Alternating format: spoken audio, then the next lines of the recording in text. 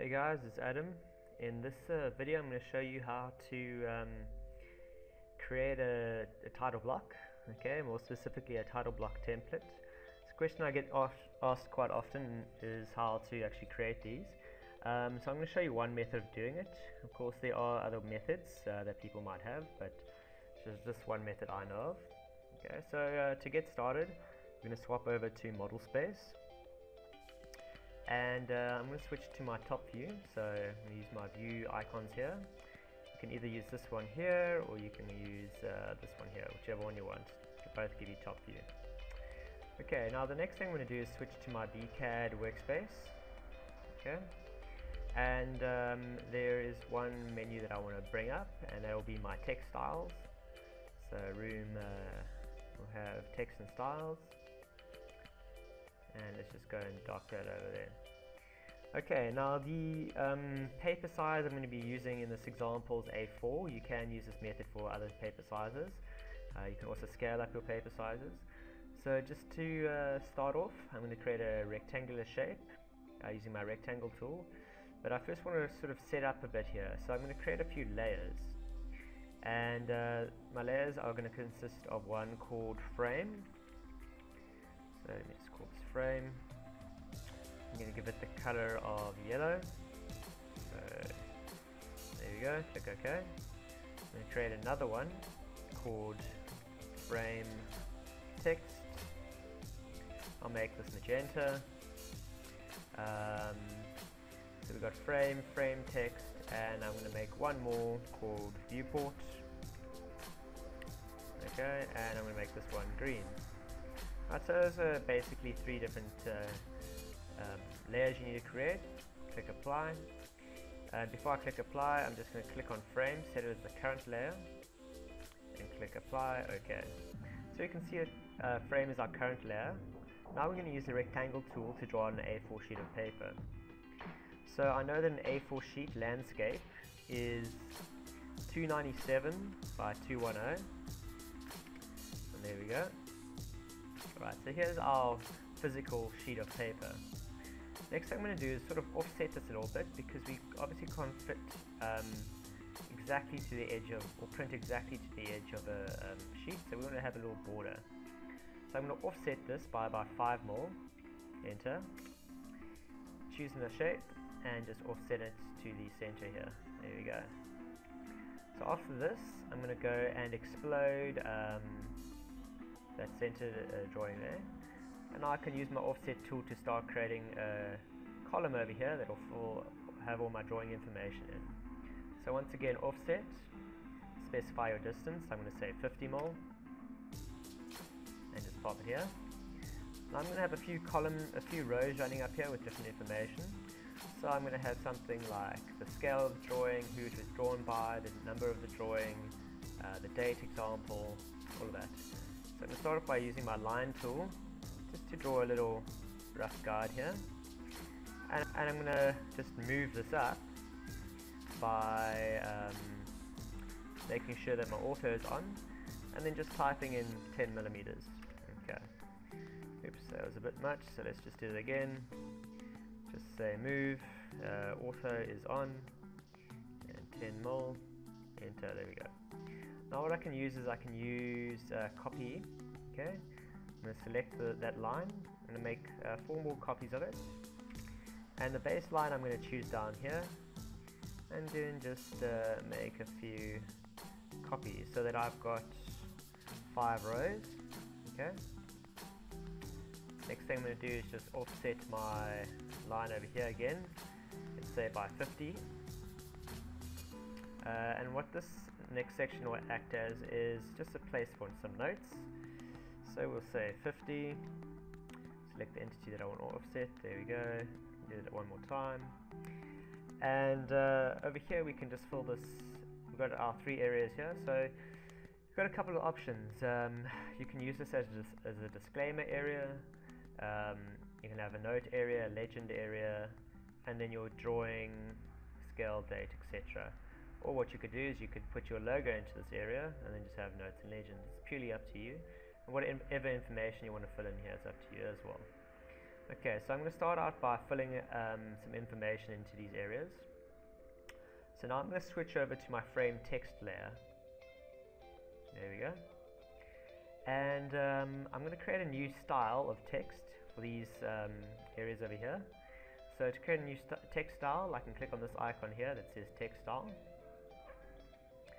And I'm just going to click new.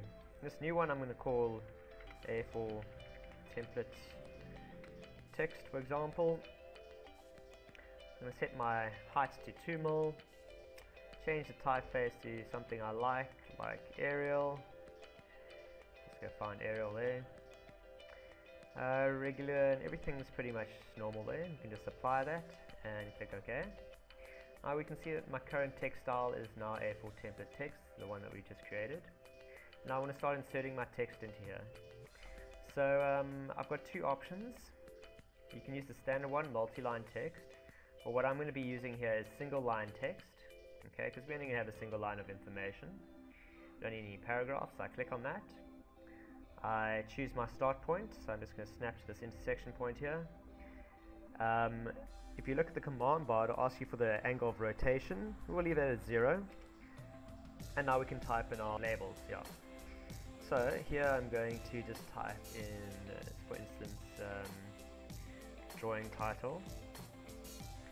Okay, let me just actually spell correctly. So we've got uh, drawing title. Okay, and uh, that's it. Next I'm going to make a few copies of these. So I'm going to use copy again. And then just make a copy for each area. Uh, from here I can go put something in like uh, drawn by. Uh, this one over here can be date. Uh, then we can have scale.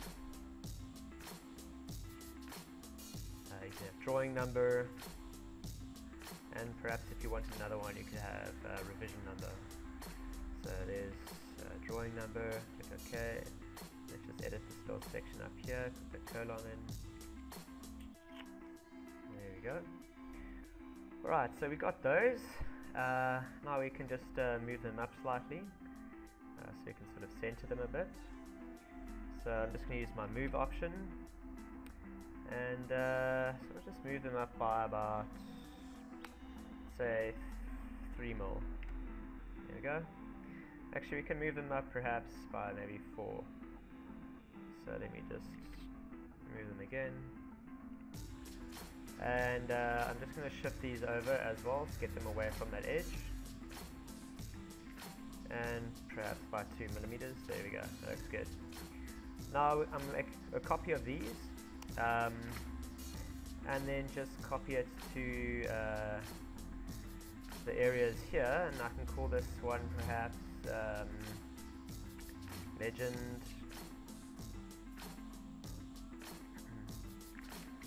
move that more to the center and make another copy of that.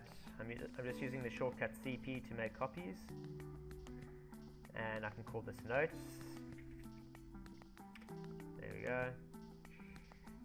And um, what we can do is just uh, sort of center this here and then just move it down slightly, two more. There we go. Right, I can do the same for this one. Just center that. And snap to the midpoint, should be somewhere over there. And then just move this down. Okay, that's better. Okay, and here, as I said, you can put your disclaimer in. Um, if you got that copied somewhere, you can just uh, copy and paste the text straight into there. Uh, so I'm just going to copy some text I've got. Now here you can use multi-line text. Uh, you can just drag out a text box and then go and paste all the stuff you want. Click OK. There we go. If you need to scale it down a bit, just do that. And also let's just make our um, typeface Arial. So there we go. Let me make that one. Okay, there we go. and let's just move this down. Okay. Right, so that's all sorted out. Um, now what we're going to do is we're going to switch over to the layout tab. Okay, see we've got our standard 4 InteriCAD viewports. What we're going to do from here is swap over to our paper space. It's very easy to do that. You're going to click on where it says layout, model space. Click on it again to change to paper space. Actually, let's just go back to there first. Maximize this layer. And you're going to swap back to paper space. Just zoom out. And I'm just going to cut and paste um, my template. We'll just choose cut, paste this into here. Okay, so now what I want to do is, um, now that I've got my viewport there and my title block over here, I just want to um, go and put my viewport onto the viewport layer. So I click on the border, I go to my layers, go down to viewport, and there you go, you see it's turned green. Next I'm just going to grab these little um, handles and then go and snap them to my drawing. So let's just be accurate there. And that's basically all you need to do. So um, now we've got our, uh, our viewports, um, title block set up to A4. You can go save this as a template. So file save as. And I'll call this uh, drawing template. Let's call it A4 template save. And um, now what I can do is I can go open up one of my old uh, designs, just an example room. And let's say I wanted to print this out at A4 with my title, my A4 title block. I could just go new layout from templates, browse to where that title block was saved, and uh, click on the tab over here, and there we go. There's our title block. Now if we just double click to enter model space, um, our drawing will appear. Now obviously we need to set our um, print set, our, our drawing scale, okay? So what we can do here is just type in Z for zoom. Uh, and the scale we will type in, if you want a 1 to 50 for example, you just type in 1 forward slash 50 XP, enter. And now you've got your drawing set 1 to 50 scale. To print it out, you just go to now with our plot window open, we can go and specify all our options here. So we're going to go select our printer. Uh, we know that we're printing to A4, so we select A4. And then we just go and choose a print window. So we drag along our border we created there.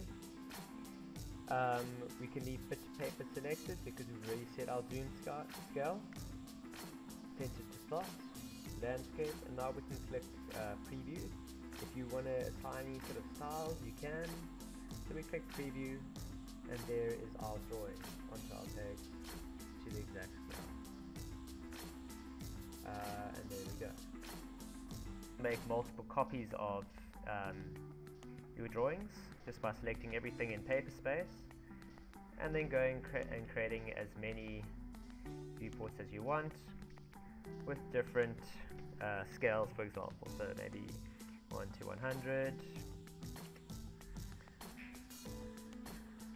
1 to 25 for example. And you can keep on going. And that's how to create uh, your uh, view, your title block template. Cool. Thanks for watching. I hope that it was informative. And just remember to like the video or share it. Thanks a lot